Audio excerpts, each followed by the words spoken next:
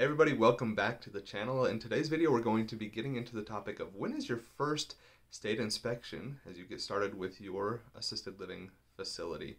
So if you're interested in learning more about that and want to learn more about the process, make sure you stay tuned.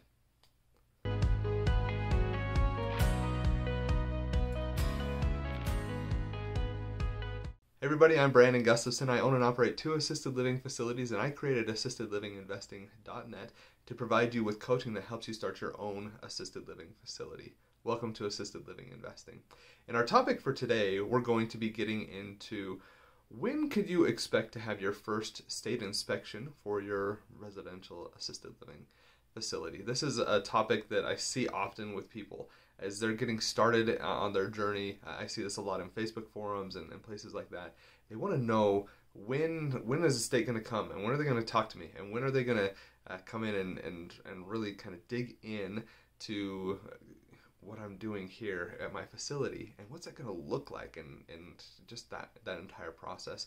In a previous video, I talked about a state inspection that we had and a surprise state inspection. I also shared some tips and tricks with you about how to create a policy and procedure on the fly using ChatGPT. So I'll link those uh, videos up above here, both the one where I talk about our, our recent surprise uh, state inspection and also our one about how to create a quick policy on the fly. So you can use those as you're going through this process in the event that you do have a, a survey that comes in for for your for your facility.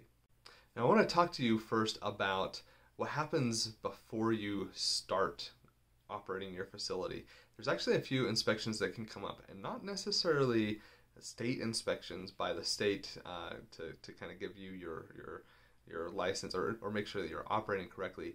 These inspections are coming from a few different areas, and they're a part of your licensing process and things that you're going to have to be aware of. I would say not every state is going to require these, but some of them might, and you want to be aware of these types of inspections that, that might come up. First is going to be the fire department. You may have to have the fire marshal come out, and this is the case if you're starting a brand new facility or you're converting a facility. Fire marshal is going to have to come out and they're going to do some measurements and, and things like that if you're starting something brand new. They're going to want to make sure that you're ADA compliant, that your hallways and your doorways are wide enough, that your bathrooms are compliant with ADA standards, and that you have a fire suppression system in your facility. If you are purchasing an existing facility, they will come in and they're not going to be nearly as strict with the the hallways and the doorways and some of those renovations that you would have to do if you're doing a, a brand new build because you're going to be grandfathered in if you are purchasing an existing facility. And so you don't need to have those things. But they will still come in and they're going to look at things like maximum occupancy and uh, make sure that your fire suppression system is in place and that it's working. As an example of this, when we purchased our facility in Idaho, we're going through the process and we had to have the fire marshal come in and they went through and they found that you know we were licensed for 16 residents that if we wanted to be licensed for 16 residents, then we were going to have to have another external facing bathroom, um, meaning uh, public restroom. So we had to do a renovation, we had to coordinate with the sellers and and have them do a renovation where they took one of the restrooms that was inward facing in a, into a bedroom and flip it, close off the door so it was no longer in there for the residents and was external facing so all the residents could could use it. Already had a shower, already had a toilet, already had a sink. We just kind of had to flip where the door was for that so that it could be external facing and used by the rest of the the home as they were going through. So that's the type of thing that you're going to need, but that's an inspection that was required for us to obtain our license. The next one I'm going to talk to you about is city zoning and planning. So it's possible, especially if you're buying, if you're if you're starting a brand new facility or doing kind of a renovation, that you're going to have somebody from the city come out and look at the facility and and make sure that it is in compliance with the types of things that that they need it to be uh, compliant with for the proper zoning of the location where you are residing. So you might have to have them come out and look at it and Uh, especially if you're going to have to change the zoning, if you're going to go through that process, you're probably going to have to have somebody from the city come out and look at that.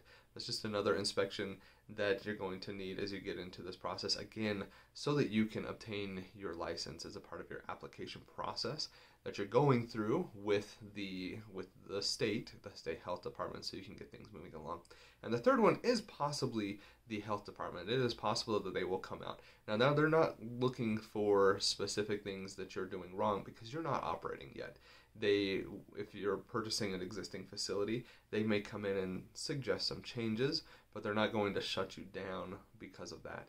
And if you're doing a, brand new facility they may come in and look at it and you know say oh you got to make sure that this thing is here. You want to have a spot for your med cart. You uh, you want to make sure that uh, your rooms have door doors on them or a certain type of doorknob or or something like that or the stairs are uh, kind of in, compliance if there are stairs. Those types of things are, are what they might be looking for if they come in pre-license for you to to get things along. I personally have never had the state come out and do an inspection. I don't think it happens very often because they are so swamped with everything else that they have. But it's possible that they're going to come out and they're going to look at at the facility before you get up and running and, before you get your license. So you just want to be aware. So those are three that could happen before you start your facility. And we're going to talk about the ideal world uh, for what would happen uh, with the state. And this is the state's ideal world. Uh, what they are hoping to do is get out and see the facility within the first 12 months of you operating. And this initial inspection is not necessarily to shut you down. It's to provide you with some feedback and guidance and make sure that you are operating correctly. They want to make sure that you're doing the things that you are supposed to be doing so that you can successfully run your facility, that you're caring for your residents, that you are keeping all the documentation in place for your staff, all of those things. They're going to give you that guidance. And so this this initial inspection is not um, unless you're doing something drastically bad they're going to be a little bit more kind of slap on the wrist type things. You need to make these corrections here, and you need to make them so that you're in compliance. Uh, but you know you're not going to be in big trouble for it. Let's just get this get this going, and let's make sure that you're operating the way that you need to be. It's kind of the tone of that initial inspection. Uh, like I mentioned, the state wants to come in and do this. In reality, though, what happens, at least in my experience, is they aren't able to do that. Um, at least since COVID, and I'm going to imagine a little bit before COVID, but because of COVID, that era, there still are staffing problems at the state, and they're not able to bring in as many people as they would like to. And so, being short staffed, getting out to do the inspections that they would like to do, uh, especially those initial inspections, it kind of doesn't fall within that first 12 months period. They, in my experience, are coming out between about, I would say in the first 18 to 20 months is when they're going to come out. So between 12 and 18 or 12 and 20 months is probably the time frame, realistically, that you're going to be uh, going to be seeing this. And this is the recording of this is in 2023. So if you watch this in three years from now, that might not be the case. Uh, it could be that they are accelerating that and they are out in the first six to nine months. But in my experience, today in 2023, they're still delayed and they're still working on getting out there. And what that means, I mean, typically they're still going to be doing that initial inspection, but they may rope in a little bit more. Uh, given, you know, if you've been operating for more than a year, you should have a pretty good handle on what you're doing you can always reach out to the state for guidance and things like that. And you want to make sure that you are in compliance with all of their regulations. You want to make sure that you're following all the rules and that you're providing a good spot for your residents. So if your initial inspection ends up being beyond that point and you're getting into the 18 to 24 month time frame, you might have a few more things that come up by way of uh, little dings or corrections that you need to make at your facility because they're kind of combining that initial inspection with a subsequent inspection. They'll still be a little bit lenient with you, but it's something you just want to be aware of. Uh, do your best though to really get in there and make sure everything is in compliance. Make sure that you're doing all that you can to follow all the rules. Have your policies and procedures documented. Make sure that you're following them and that they are referencing the correct state regulations and when the state makes updates that you are updating your policies and procedures accordingly. So that when the state comes in that they're going to be able to talk to you and say yeah it looks like you're doing exactly what we would like you to do. That's excellent. Um, here's you know these five things that we need to make sure that you are correcting and doing um, a little bit better than you're doing right now. So those are a few of the things, you know, the reality there of the situation that uh, as you're getting started with your assisted living facility. Today's video we've been talking about the licensing process and those three kind of pre-inspections that you might see with the fire department, city zoning and planning, and with the health department themselves.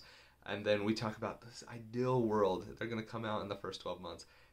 But in reality, it's just probably not going to happen. Um, at least as of the recording of this video, uh, they are probably going to be out a little bit closer to that 18 to 24 month mark. You just want to make sure that you are doing everything that you should be doing for you to operate your facility. If you found this information helpful and you are looking at getting started on your journey to assisted living, and, and starting to, to, you know operate your own assisted living facility, make sure you get over to assistedlivinginvesting.net. Have a free calculator for you over there. Also, I'm working right now. I just finished uh, working on week 11 of a 12 week course, and this is going to be oh, it's probably going to be close to 20 hours of content that is specific to you and helping you through this journey with 12 steps, with action steps and, and plans for you to implement and start working to get you started on your own assisted living facility. If that sounds interesting to you, make sure you get on the email list now. Get over to assistedlivinginvesting.net so that you are the first to know when that comes available. And as of the recording of this, I haven't launched this yet, but I think by the time this is up, there will be the business planning guide that goes into kind of that initial phase of what you need to do to get started with your assisted living facility. So make sure you get over to the website, sign up, be on our newsletter. We have uh, a few different things there by way of just kind of a newsletter that gives you 12 action steps, that mini, that 12 week course in a mini miniature version that's going to give you action steps as you're waiting for that course to come out and I, I really want to help you out here uh, in kind of coaching you on your process to obtain your own assisted living facility. Does residential assisted living sound interesting to you, but you don't know how to get started? At assistedlivinginvesting.net, we're here to help you through the process, start to finish. And remember, it doesn't take a lot, just a little bit. Keep going, keep making progress step by step by step. I promise that if you do, you're going to be successful. Thanks for watching and have a great day.